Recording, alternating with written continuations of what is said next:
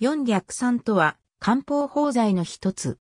出典は、召喚論で日本で江戸時代に東大随一の臨床家と謳われた和田東閣により、心身症等の疾患に特に有効であることを見出され、以降現代に至るまで漢方薬の代表的な処方として定着した。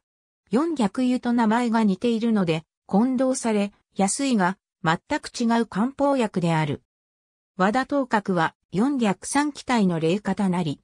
常に用いてその会の盆ならざるを知るべしと述べており、神経の高ぶりや不安を抑制し、胃腸症状を改善する処方として知られる。完成の気薬の芍薬とサイコの組み合わせに妙があり、ストレスや緊張などによる痙攣などを除去する効果と、期日により滞った気の流れを強く洗い流す効果があるとされる。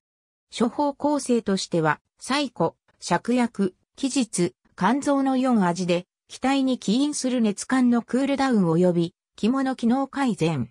体力は中等度以上で、胸腹部に重苦しさがあり、時に不安、不眠などを有する心身症状。ストレスによる心身症状と、ストレスによる神経性炎、胃酸型、過敏性腸症候群、胃潰瘍、胆脳炎、胆石症、気管支炎、神経質、不眠症、転換、狭心症などに用いる。胆脳炎、胆石症、胃炎、胃酸型、胃潰瘍、気管支炎、最古5.0、期日2.0、芍薬4.0、肝臓1.5体力が割合にあり、水落ちから両脇にかけて圧迫感があり、足や手が冷えて気が重く、腹痛がある場合に用いる。胃炎、腹痛、胆石、神経症、気管支炎などに応用する。大細固油と小細固油の中間の状態に用いる。記録部、溝落ちの抵抗圧痛、上腹部腹直筋の顕著な引き連れ。